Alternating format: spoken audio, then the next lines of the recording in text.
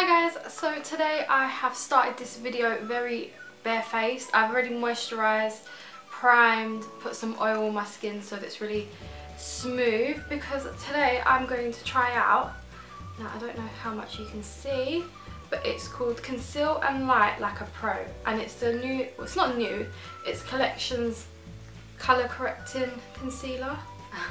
As you can see I'm watching Friends in the background. So yeah, these are just all the shades. So you've got your two, well these four here are just all your concealer shades. Then you've got a highlight, a green, a purple and a yellow. So I'm just going to test this out and see how much it works because, oh itchy eh? Because it is a bargain, I think it's like 3.19 or 4.19. So if it really works, then you guys can go out and buy it. So let's test this bad boy out.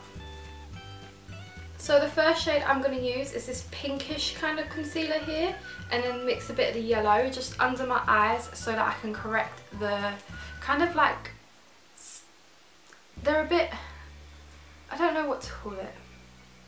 They're meant to help you brighten your face up so let's see how that works. I'm just going to zoom you guys in so you can see it a bit better.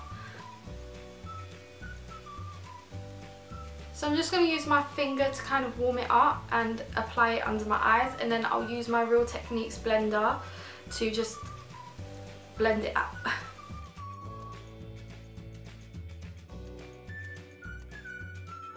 I've got eye cream underneath my eyes just because I felt like they were a bit dry so hopefully that doesn't affect the application of this just too much but hopefully it's okay so let's start blending the first pinky colour out.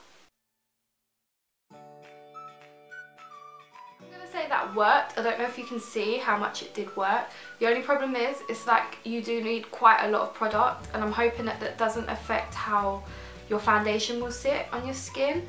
But I do have, where is it? I do have my Skindinavia setting spray so hopefully once I've colour corrected before I put my foundation on that might keep it I don't know, like help the product move the move about a bit more. So we'll just see. I'm going to go in with the yellow colour here now.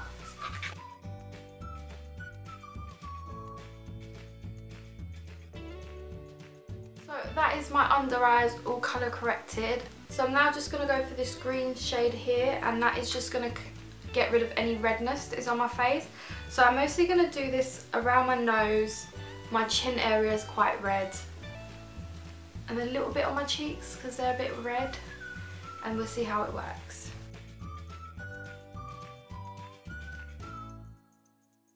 So this is the green colour without being blended in and I'm going to blend it in right now and we'll see how it turns out.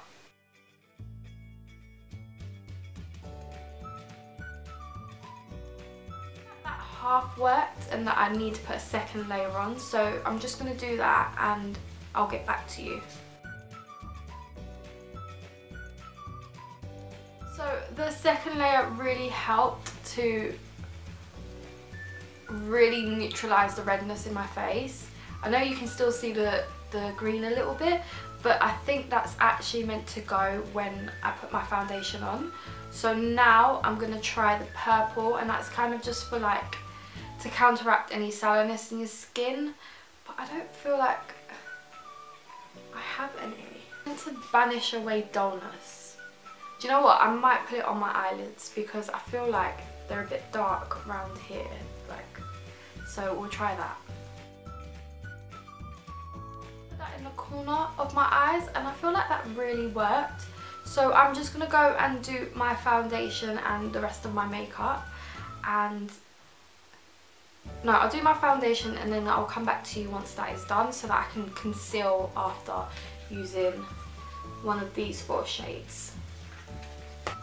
So I have just put foundation on and of course I use my L'Oreal True Match. It's like my favourite foundation ever. And I feel like my complexion is like really, really nice and my foundation went on over it really well. I don't know if you can see, like my skin just looks really smooth and it really worked. So after I turned the camera off and went and done my foundation, I actually used the Skindinavia makeup setting spray and I think that really helped to really set everything in place and then allow me to put my foundation over the top without anything moving about. So now what I'm going to do is use concealer and just use it to highlight and conceal. So I feel like I want to go for the, the really pale one here just to brighten up the areas and use as a highlight. And then I don't really have anywhere to conceal. I think I might use this kind of shade here, the one just above it, just to do my chin. So that's one area where I feel like it's still a bit red. So I'm going to do that and I'll come back to you.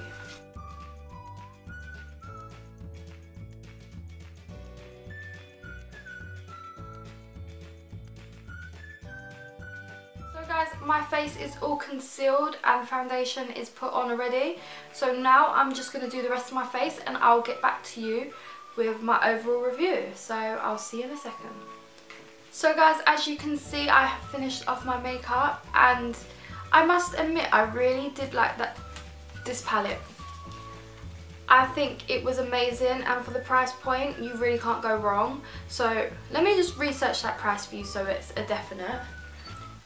So, so this palette was $5.99 at Boots and it's now on offer for $3.99 so it is quite a bargain because you get like eight different shades.